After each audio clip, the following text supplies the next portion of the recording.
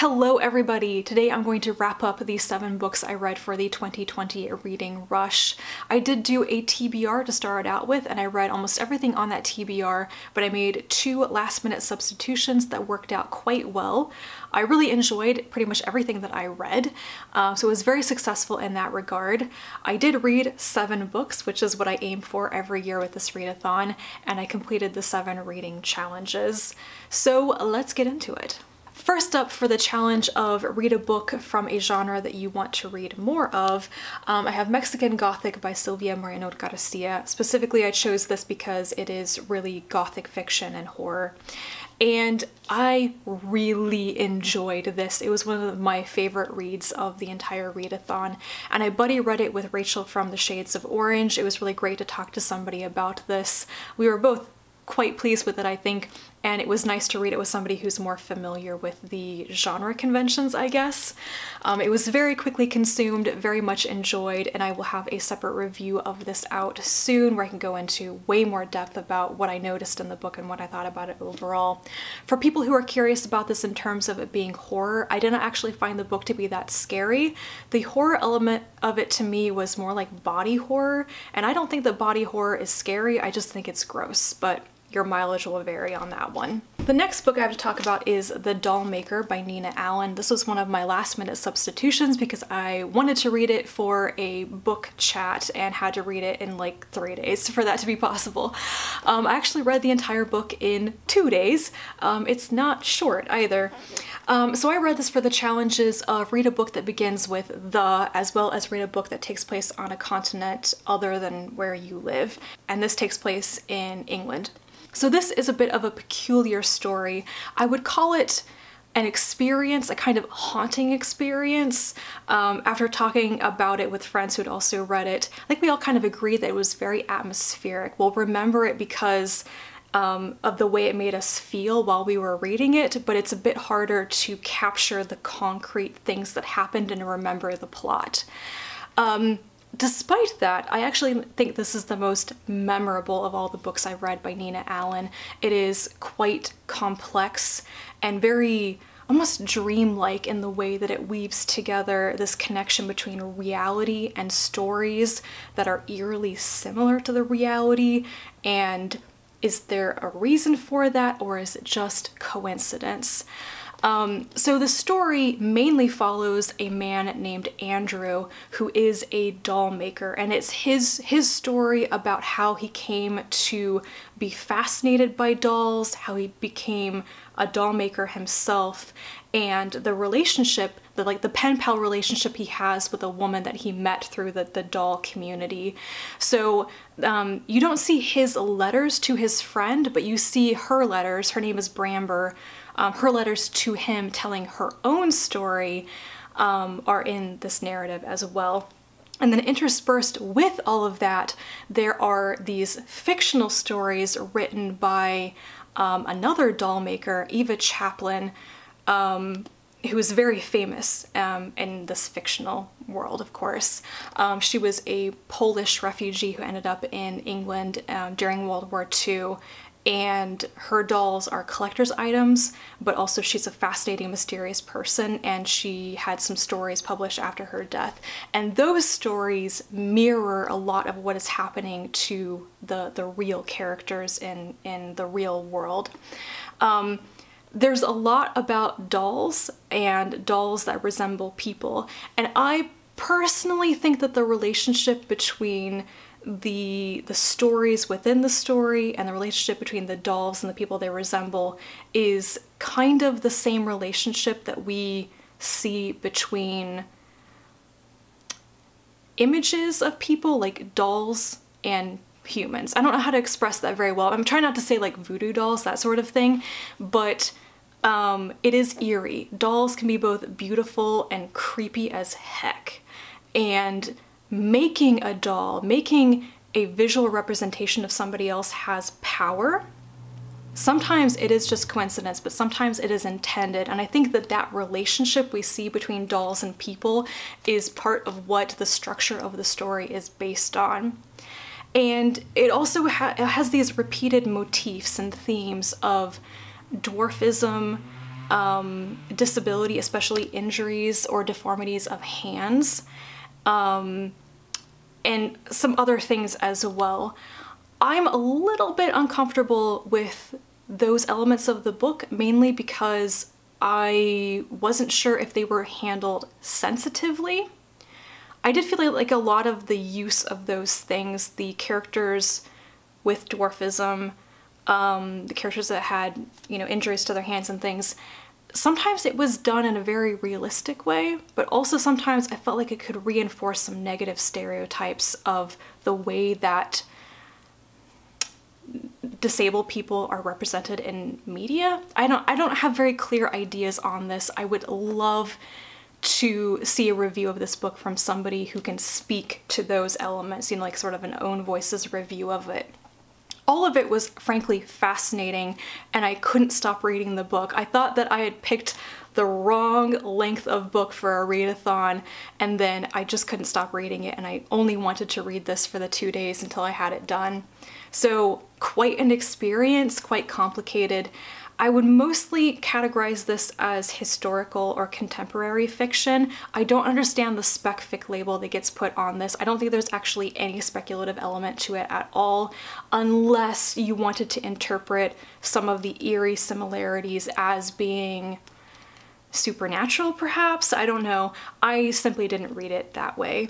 Um, so yeah, a pretty unusual novel. Um, I would recommend this. It's probably my second favorite of Nina Allan's books. I really enjoyed The Rift and I particularly enjoyed the SFF elements of that, which is why it kind of ranks a bit higher. But I think that The Dollmaker is perhaps a better technical achievement in storytelling. I'll go, I'll go with that. For the challenge of read a book with the color of your birthstone on the cover, I read A Wizard's Guide to Defensive Baking by T. Kingfisher because it has a very purple cover and my birthstone is amethyst. Um, this is the newest book out from Ursula Vernon under her T. Kingfisher pen name and I loved it. It was my one five-star read, like just outright five-star read of the readathon. Um, not necessarily because it's the best, but because it really elicited a lot of emotions from me. Um, but it is another of her middle grade novels with um, younger protagonists with a minor magical ability that just couldn't get picked up by a traditional publisher and I don't understand why. I think that this book in particular would make a great middle grade novel. Just, I don't understand people's objections to it for the audience. It's great. Um, there's nothing particularly too dark about it, I think, for, for a younger audience. I've certainly read more harrowing books aimed at younger readers, let, us say that. Um, but it is about a 14-year-old girl named Mona. She is a baker and her magical ability is just that she can do things with dough. So she can convince dough to, to do the right thing, to bake up the right way. She can animate gingerbread men. One of the most fun things about this for me is that she kind of accidentally creates a gingerbread man familiar who rides around on her shoulder and stuff. Um, there are like eight foot tall gingerbread men golems that are used in the war in the story. Um, so essentially it begins when she comes into the bakery one morning and uh, stumbles across a dead body and there is a serial killer in the city who is targeting wizards and a powerful figure in the city's government is also targeting wizards. Um, she ends up being the only mage left in the city when it is attacked and she has to help defend it. There's a lot more to it than that, but I enjoyed it. It made me laugh and then it made me cry. Like, ugly cry at the end. Maybe I was feeling particularly emotional at that time, but it was just it played on my heartstrings, guys. So yeah, I love this book very much. I would highly recommend it if you are looking for a T. Kingfisher story to begin with. This is a good one. To read a book entirely outside of my house, I read A Picnic on Paradise by Joanna Russ. Um, actually read this one outside, sitting outside in the heat, being eaten by mosquitoes, uh, mostly as a last-ditch attempt to finish something in the allotted time period for the readathon. It is the shortest thing I read. It's about 150 pages long, so roughly a novella. This was published in 1968, I believe. Um, somewhere in here it says Yes, 1968. And it is about a time travel agent from ancient Greece named Alex who is brought forward in time in order to lead a group of tourists across a planet called Paradise where a war has broken out. I did not completely understand the point of why they had to take this journey. I think I missed it. Um, either through inattention or lack of explanation, but it's a scenario to have a group of very mismatched people who have no experience in mountain climbing, for example, being led by a grizzled woman who just is like, these babies, these babies, they're all gonna die. Um, and they do. I mean, it's just a, a, harrowing journey across the surface of a planet where they, they cannot be noticed by the people doing the warfare because then they'll die, but also they might die because of the inclement weather, etc. And stuff happens. I actually thought it was a pretty entertaining story. I got into it but I have quibbles with it, like the premise, what the heck is going on here? Um, uh, but the one thing, I finished reading it and was like, why'd you gotta do that, Russ? Was that Alex is a very strong, independent woman. Like she's just out there, you know? And she is shoved into a pseudo-romantic sexual relationship with one of the guys in the group. It's like, why? Why? There's absolutely no reason to do that, especially because I felt it was kind of at odds with what Russ actually wanted to do with portraying women. It's just, I don't understand it. Um, I don't know. As a standalone story about a time travel agent, a very unusual one, and I don't know, kind of subverting the system and also people dying and on an adventure. Hey, it's good entertainment. I'm not sure I would highly recommend it though. Um, but all that being said, I'm really enjoying actually reading Russ's work rather than just reading about her and her role in basically feminism and science fiction in like the 70s and 80s and stuff. It's good to actually read what she herself wrote and was known for at the time. Um, the last book that I read for a challenge in the readathon is Howl's Moving Castle by Diana Wynne Jones. This was for the challenge of read a book where you've already seen the movie adaptation of it. Um, I have seen the um, Hayao Miyazaki uh, Studio Ghibli version of Howl's Moving Castle three or four times at this point.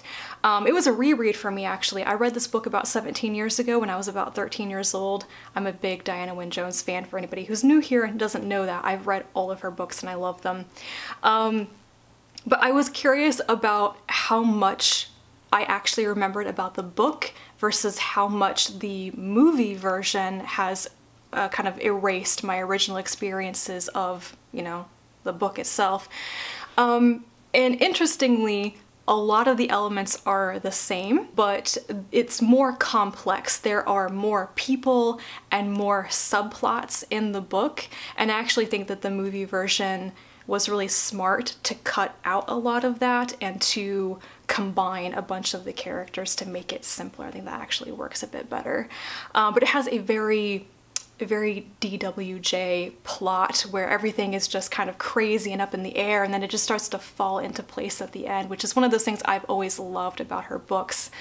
Um, and I also think that Howl comes across as worse in the book.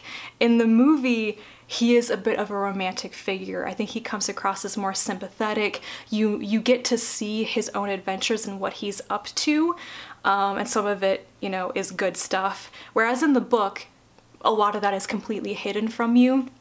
And I didn't really buy it at the end that he was more sympathetic. Like, I just didn't didn't get it. Like he, he comes across as way more vain and self-interested and using other people and not very sympathetic to what they're going through. And it felt like a bit of hand waving at the end to say, oh no, he really had good intentions the whole way through and now he's gonna be like the best love interest or whatever. No one would actually want to live with a person like him. But it was such good fun. I loved it. This is another five-star read though, a reread. Um, and I really need to go on and reread the two other books in this series right away because I don't know how many people actually know this, but uh, this is part of a series. It's like a trilogy. There are two other books and I have no memory of them whatsoever and I read them all at very different time periods when I didn't realize they connected at all. So it'll be interesting to read all three books close together and see how much of a series they are. Like is it a chronological sequence of events or more thematically linked perhaps? I don't know. I will find out. I also read two other books for the readathon in order to reach seven books. I listened to the audiobook version of Rise of the Jumbies by Tracey Baptiste. This is the second in the Jumbies series. It is Caribbean fantasy middle grade and I really enjoyed it. Um, I haven't talked about the first book yet. That will be in a separate wrap up because I read it I think at the end of June and still haven't talked about it. Um, but it is about a young girl named Corinne and her friends who go on adventures. They live on a Caribbean island, which I assume to be Trinidad and Tobago because that's where Baptiste is from, but it's I don't think it's actually stated what island it is. Um, but yeah, they have adventures um, involving jumbies, which are like the shapeshifters, kind of fae folk, perhaps. I think this is something actually from Caribbean folklore or something, which is something I still need to research. Anyway, it was good. I didn't love it as much as the first book, but it was a very different type of story. Um, I'm, I really love the narration of the stories in the audiobook versions. Robin Miles does a fantastic job, and I also really enjoy the secondary characters. Corinne, the protagonist, is, is fine, but I, I enjoy her friend a little bit more than her. So yeah, I'll probably talk more about the series when I get around to actually talking about the first book. And I also listened to an audiobook um, dramatization of Cymbeline by William Shakespeare. I was a bit nervous about trying to listen to a Shakespeare play without having read the play in print first because uh, I thought it would be very confusing. It was good that the version I listened to, it, it it sounded like the recording of a movie version. It had sound effects and multiple actors and everything and music. It was really good. And I really enjoyed it, like perhaps the experience of, of hearing it performed and actually spoken aloud that really influenced how I, I perceived it and I, how much I enjoyed it. Um, I don't know how to summarize the plot of this other than I've seen it described as like the king's daughter marries a man that nobody likes and then all hell breaks loose kind of like that. Um, there's cross-dressing, you know, you've got typical woman pretending to be a man, stolen children, and all of that. Um, it was good. I liked it. The only difficulty I had is that a lot of the male actors sounded the same to me, and there were instances where I wasn't sure who was talking, or I didn't realize that there were two characters instead of one character because the voices were so similar. So I will definitely read this play at some point to get some of that straight, but the gist I got of it was really good. And that is it. Those are all things that I read for the reading rush this year.